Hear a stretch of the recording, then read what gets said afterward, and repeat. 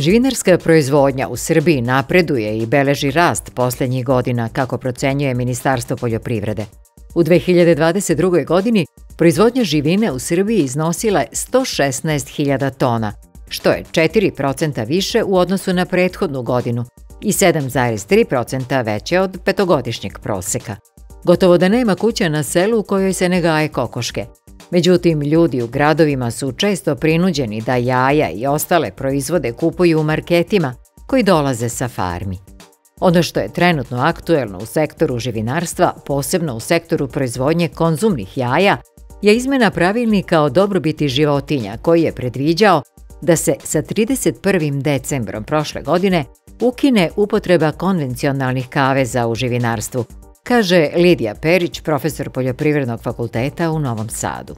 Ta uredba je međutim produžena, odnosno neće biti ukidanja ovaj, konvencionalnih kaveza u našoj zemlji, nego je donet, doneta izmena pravilnika koja predviđa da se do 2025. proizvođači konzumnih jaja naprave jedan plan prelaska sa konvencionalnih na druge kavezne ili alternativne sisteme gajenja, a da verovatno primena ovog stava e, pravilnika o dobrobiti životinja neće biti skoro u upotrebi. To znači da kod nas u našoj zemlji ostaju konvencionalni kavezi za proizvodnju konzumnih jaja, za koje svi znamo da su u Evropskoj uniji odavno ukinuti. Na ovaj sistem je trebalo da se u Srbiji pređe do 2023. godine. Bilo je rečeno da će krajem prošle godine da će to biti poslednji rok. Međutim, osnovni motiv za tako nešto je zapravo priprema ulaska u Evropsku uniju. Naši proizvođači to nisu nikad prihvatili.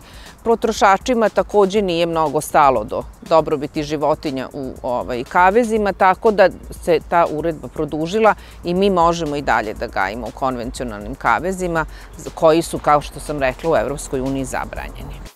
Jedna od praksi u Srbiji je da se sa komercijalnog uzgoja u baterijskim, naslaganim kavezima prelazi na takozvane obogaćene kaveze, koji za cilj imaju povećanje prostora za kokoške, ali ne i ukidanje pregrada i nagiba pod kojim životinje stoje.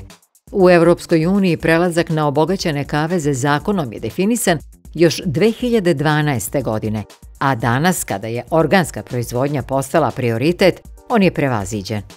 Kako u Srbiji baterijski kavezi više ne smeju da se proizvode, svako ko prvi put želi da gaji koke nosilje trebalo bi da obezbedi obogaćeni kavez. Međutim, kako sve ove odluke utiču na životinje i samim tim na kvalitet proizvoda, objašnjava profesorka Perić.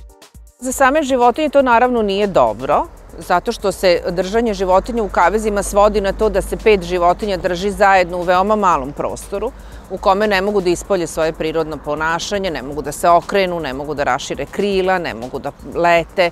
Znači, nije nam teško pretpostaviti kakav je život u jednom kavezu 50 puta 50 gde smestimo pet životinja.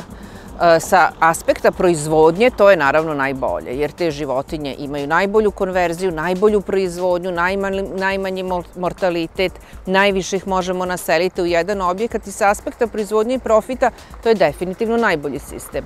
Ali sa aspekta dobrobiti životinja veoma surov i nešto što bi mi trebali zapravo kao potrošači da, da se zalažemo da se sa time prekine i da se kokoškama obezbede daleko bolji uslovi za život. Domaćin će svaki znati dobar savet se isplati sa novog portala Vreba Saveti sa Agroneba. Posetite ovog trena i nestaće ta dilema. agrosaveti.rs Sajt koji nudi odgovore.